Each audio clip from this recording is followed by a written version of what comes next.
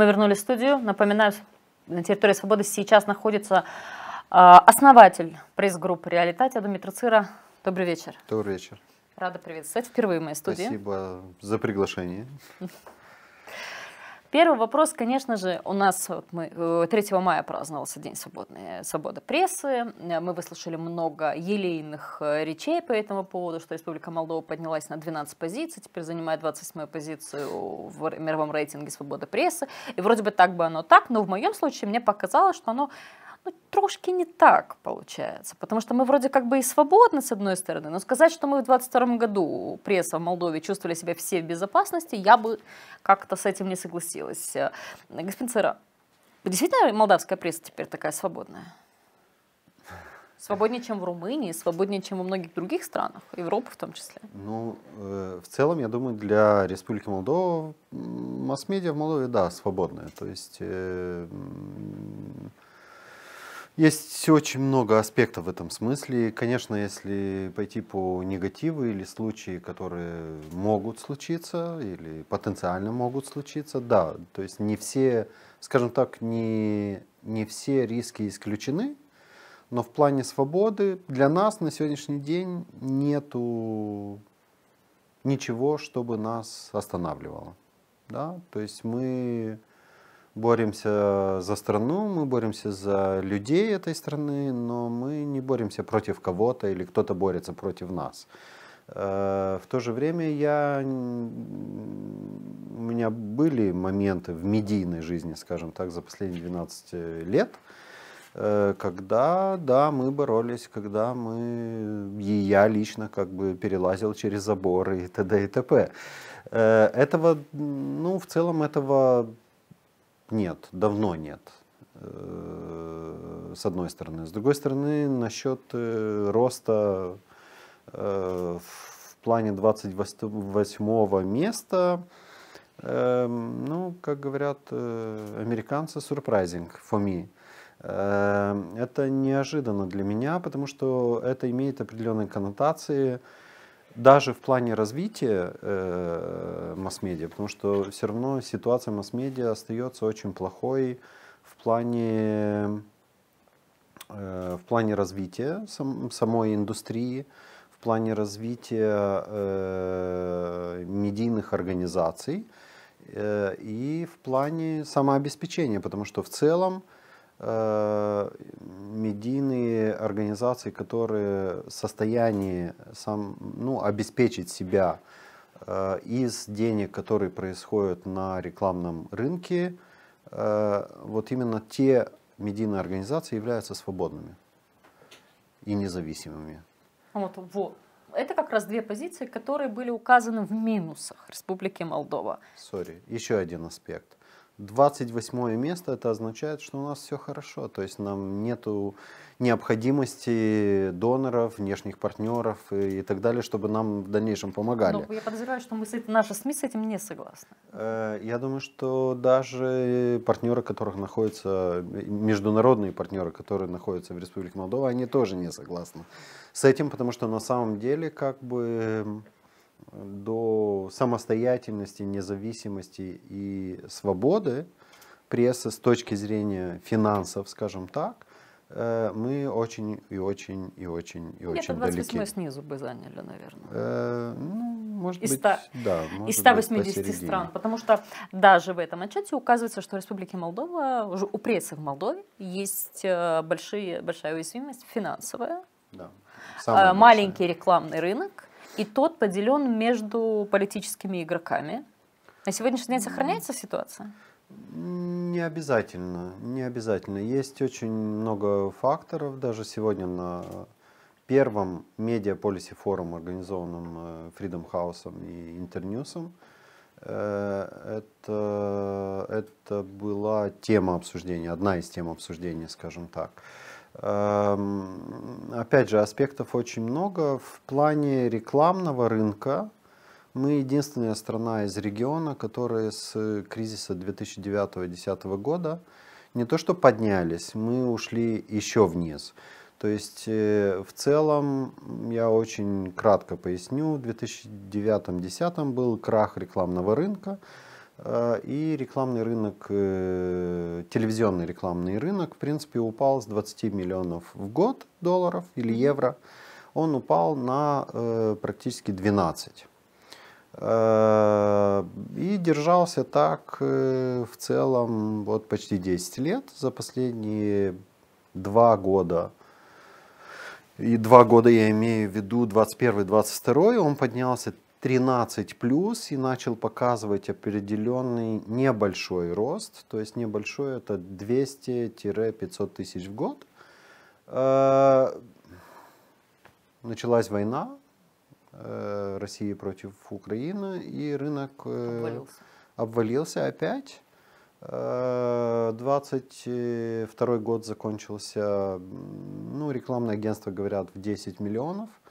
Я думаю, что для телеканалов непосредственно это 8 миллионов, потому что все равно определенные деньги, э, скажем так, 10-20% остается в рекламных агентствах за их очень важную работу, которую они делают. Э, и в целом э, превью или форкаст, как бы то, что ожидаемость да, по 2023 году повторить уровень прошлого года.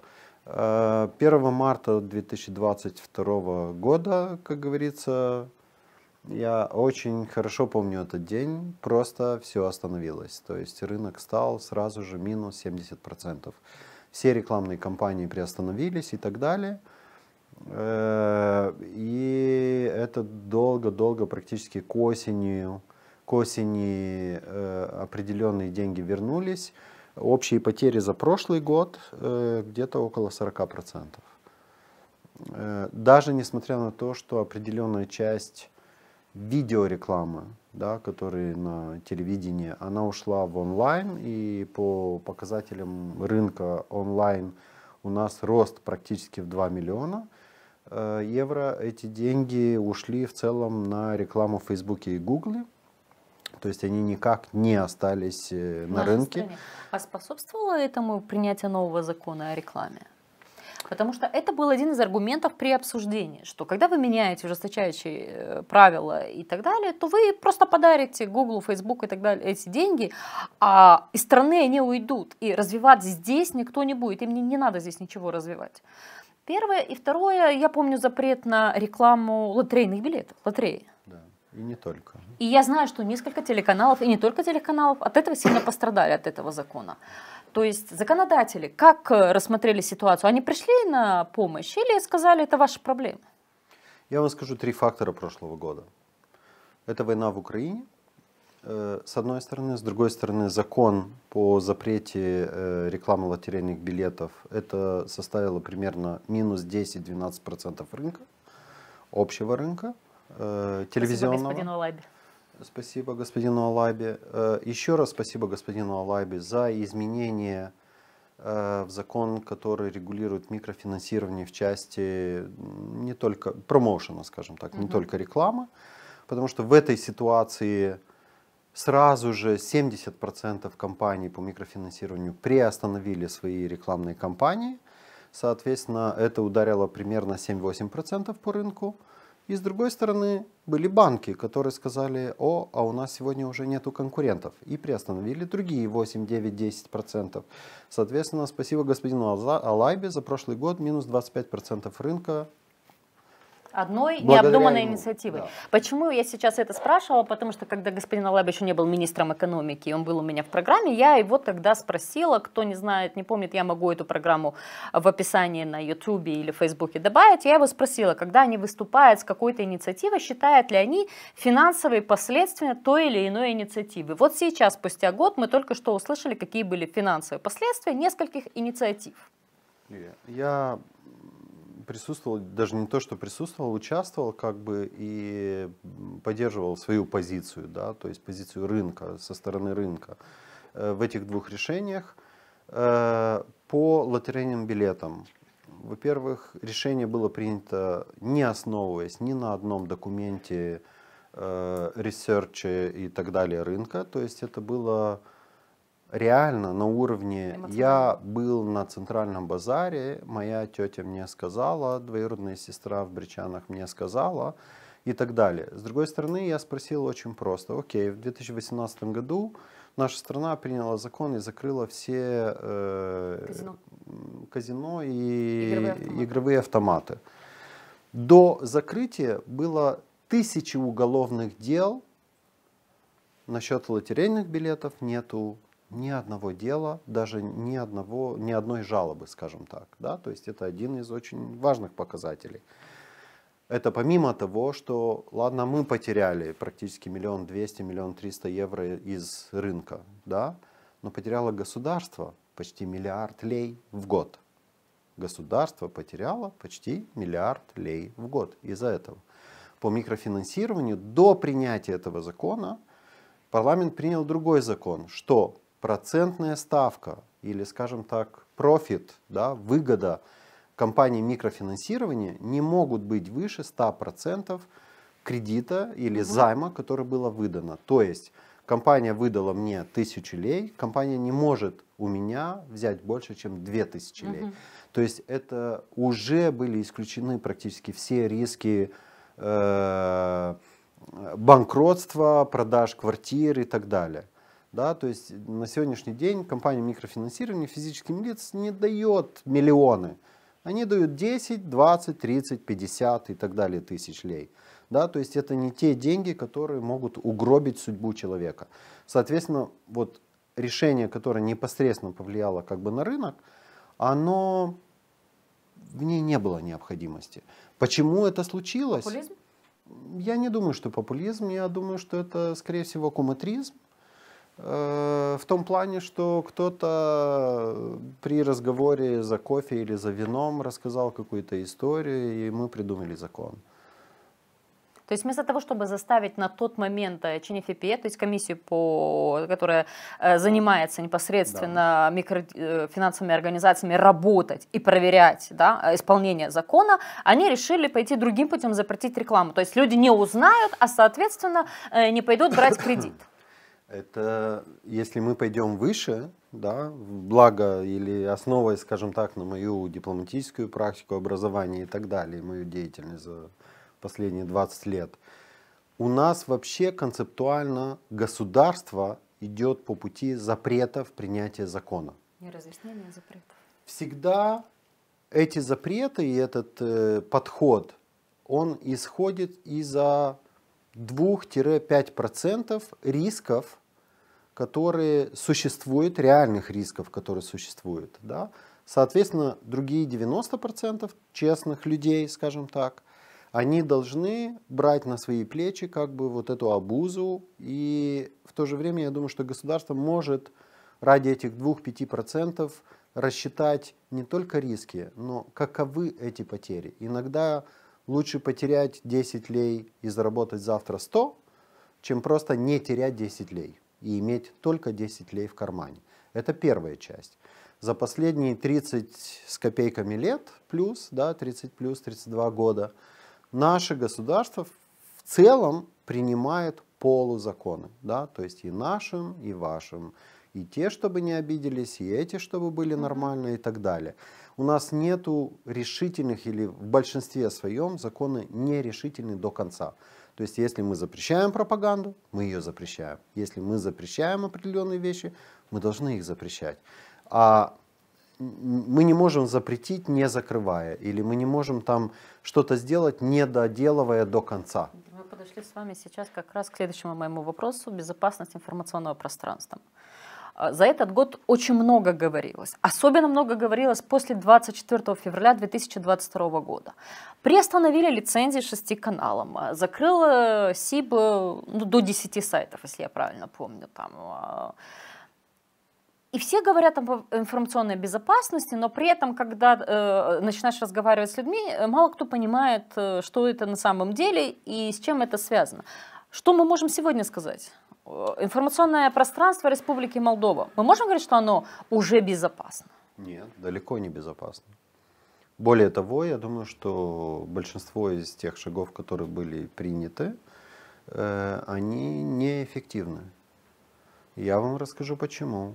Вот конкретный результат пропаганды и дезинформации. Результат выборов в Гагаузии. Да, то есть, ну вот, там это происходит. Это происходит здесь, в Кишиневе. Э, это происходит по всей стране. И неэффективность этих решений очень проста. То есть приостановились при решением комиссии приостановили лицензии, приостановили лицензии шести, кон... Э, да, шести каналов. Завтра, послезавтра, через неделю, через две эта чрезвычайная ситуация закончится. Соответственно, они начнут опять работать.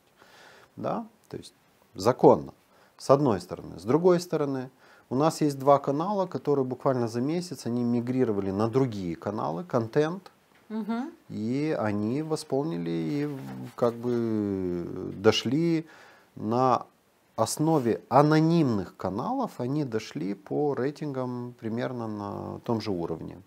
И они как бы выдают в эфир тот же тип контента. У нас есть кабельные сети, которые до сих пор показывают там, не знаю, э, фильмы про войну, например, да, угу. Э, которые запрещены.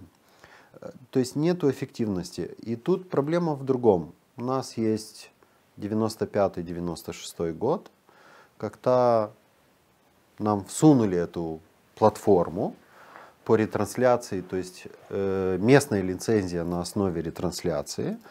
Э, и вот с 95-6 года мы живем на этой платформе. И никто или мало кто понимает, что в целом от смены чашки из одного угла в другой угол ничего не изменится. Нам нужно поменять стол, нам нужно поменять платформу. То есть нам нужно четко сказать, у нас больше нет ретрансляционных каналов. А что все, должно для этого происходить? Извини, ретрансляционные каналы все в оригинале, в международном формате, если мы говорим о телеканалах, которые ретранслируются из Российской Федерации.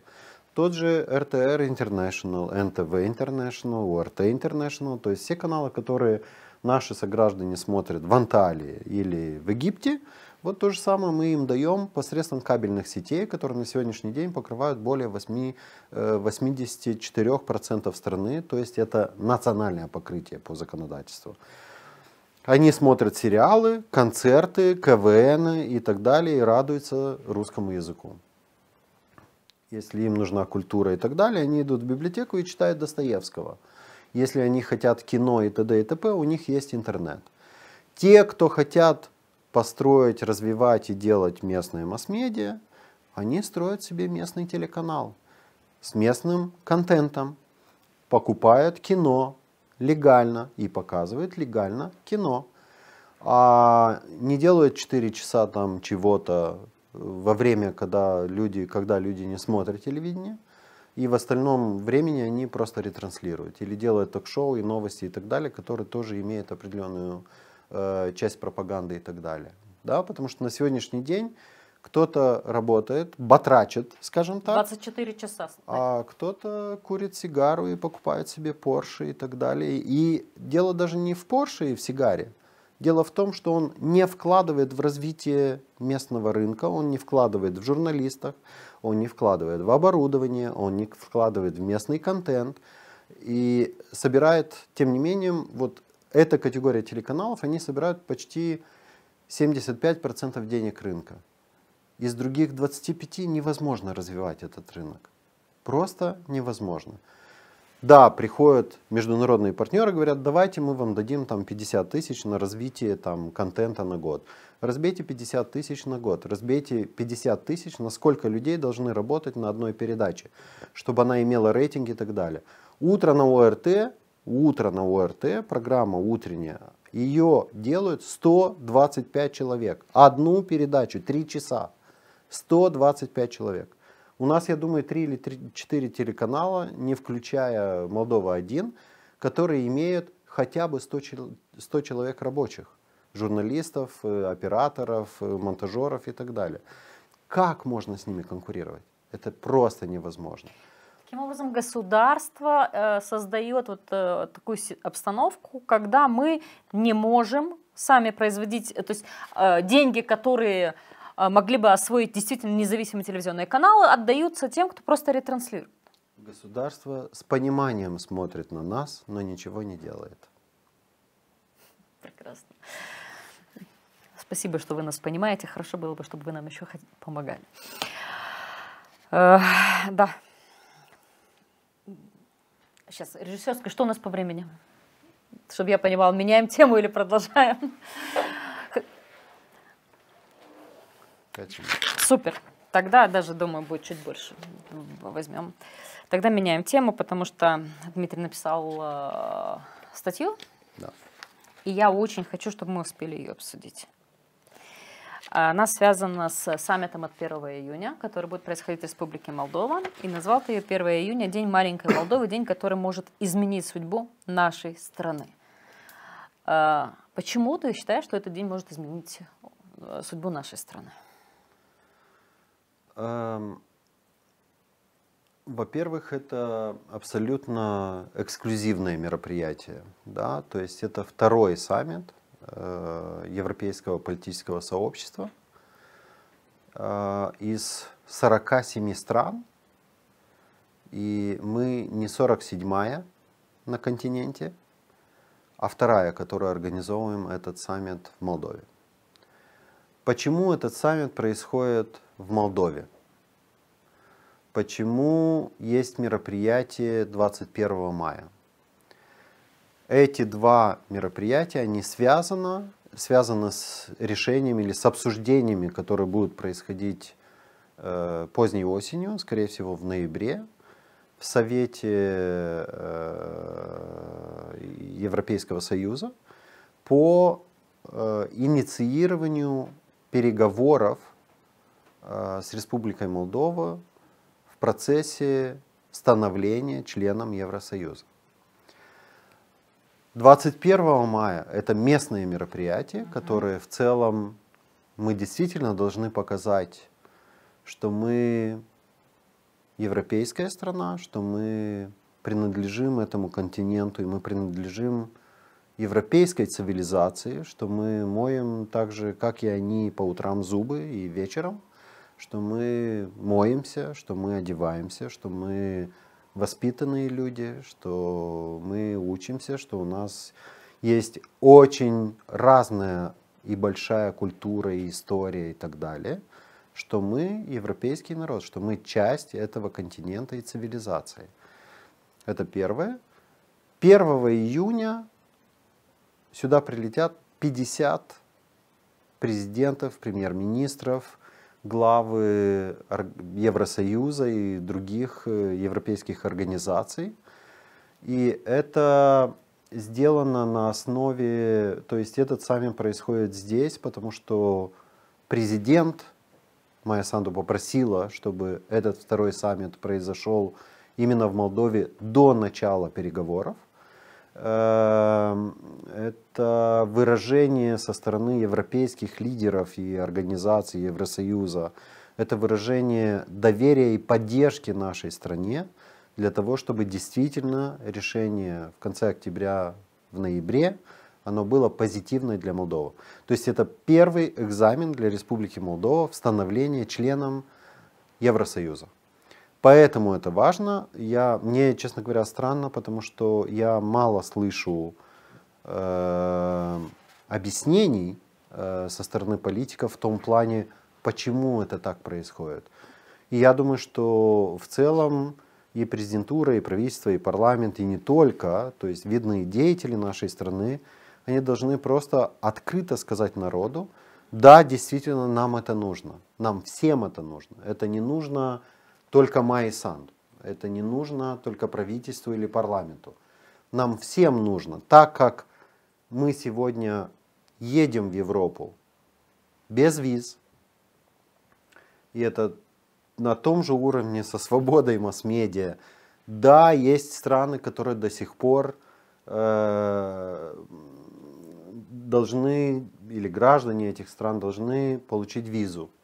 Это просто сумасшедшая процедура, если я вспомню, да, как мы угу. это делали, как мы да, сидели. Не все уже помнят, как Стояли это было. в очередях, как мы делали эти фотографии, как мы... Э, Приносили квитанции, что мы платежеспособны. Да, и стояли в очереди для того, чтобы зайти, чтобы подать эти документы, потом опять... Э, в очереди, чтобы взять эту визу, и не только, и т.д. и т.п. Это породило в целом как бы миллион паспор, паспортов из, из Румынии, из Болгарии, не только. Но, тем не менее, это как бы социальные процессы. Мы говорим о членстве Молдовы в Евросоюзе, не знаю, когда это случится, да, с одной стороны. Но с другой стороны, это торговля, это безопасность, это социальное обеспечение, это много-много-много-много всего. Стандарты жизни. Стандарты жизни, воздуха, воды и не только. Для этого, конечно же, я думаю, что народ в целом должен понять, что не то, что пришло время, оно всегда было. Мы должны взять на себя эту ответственность, высказать эту позицию и сделать этот шаг. Никто за нас не будет подметать улицы, никто за нас не будет строить школы. Мы должны сами это делать. Мы должны работать над собой, воспитывать себя, э, становиться намного э, умнее, намного э, ответственнее. ответственнее. Мы должны взять на себя эту ответственность, не ждать, чтобы президентура, парламент или, или правительство сделают это за нас. Это наше. Эта страна наша. Это наша ответственность. Соответственно, мы должны это все делать. Все, что ты говоришь, это означает, что мы должны закончить с э, инфантилизмом, что кто-то придет большой за нас, решит и нас осчастливит, и понять, что действительно эта страна наша ответственность, и что мы здесь можем создать будущее для своих детей, которым не придется отсюда уезжать ради другой хорошей жизни. Да, и в этом, да, и в этом смысле тоже. Я, честно говоря, после, не то что после, у меня 7 лет э, удачной дипломатической карьеры в Республике Молдова, я с ужасом думаю о переговорном процессе непосредственно. Потому что переговоры будут веду, вестись по всем направлениям. И, соответственно, мы должны быть умнее их, хитрее их, чтобы объяснить, что мы хотим сделать в сельском хозяйстве через 10-15 лет. Потому что если мы сегодня не скажем, что через 15 лет, может, мы захотим э, сеять э, самолетами, то этого не будет. То есть э, есть направления, в которые, которых у нас вообще нету. Но даже по этим направлениям мы должны будем вести переговоры в том плане, что да, это потенциально может случиться. Атомная станция по производству электроэнергии в Республике Молдова. Мы скажем, никогда. Но она может быть через 10 лет. Или еще что-то. Но мы взяли на себя обязательство по декарбонизации. Очень высокое, очень большое. Я надеюсь, что министр Парликов, э, ему, ему удастся, не буду ставить палки в колеса, ему удастся этот амбициозный план, потому что я знаю, что он очень, сам по себе человек такой очень э, прагматичный и энергичный одновременно, и он знает, как внедрять эти планы в жизнь. Главное, чтобы политический класс не подкачал. Есть три больших приоритета. И проект страны это должна быть интеграция в Евросоюз, потому что другого пути просто нету для развития страны. Если мы хотим деградировать, да, там возможности три, например. Если мы хотим развиваться э, и зарабатывать, и жить нормально, и хорошо, и достойно, и чувствовать себя достойно, это единственный путь. Есть два приоритета. Это развитие страны и это народ, который живет в этой стране мультинациональный, мультиязыковой и так далее. В этом наша сила. Наша сила в раз... не то что в разнице, но diversity, да, то есть вот в разнообразии, которое у нас, ну, это есть. да, единство в разнообразии. Да, да. И мы не должны убегать от этого, мы должны в, этом, в это инвестировать. Мы должны инвестировать в людей, в принципе. Вот на этой позитивной ноте мы будем сегодня заканчивать эту часть, но это не означает, что мы больше не будем видеться в этой студии. Обязательно, мне было сегодня очень интересно, поэтому приглашу обязательно еще раз, обязательно эту тему продолжим э, дальше.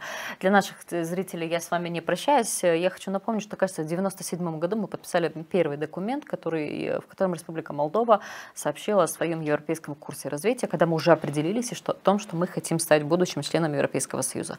Что бы вам ни говорили, ни одна власть в Молдове, ни одна одна, не отказывалась никогда от этого курса. И даже коммунисты, которые в 2001 выиграли на, на идеи улучшения да, или вхождения там, в Союз России и Беларуси, в итоге отказались и в 2005 выиграли следующую предвыборную кампанию с лозунгом «Построим Европу дома, двигаемся в Европейский Союз».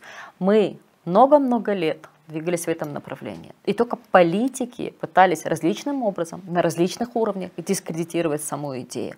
Но Европейский Союз – это стандарты жизни, это качество жизни, и это то, что каждый из нас на самом деле хочет иметь в своей жизни.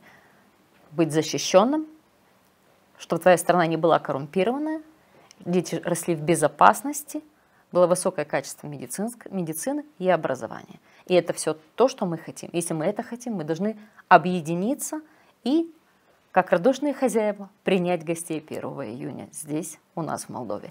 А сейчас реклама. После рекламы мы поговорим с Михаилом Серкели о том, как прошел первый тур Башкана в Гагаузии и как он видит э, развитие событий. Не переключайтесь, оставайтесь с нами.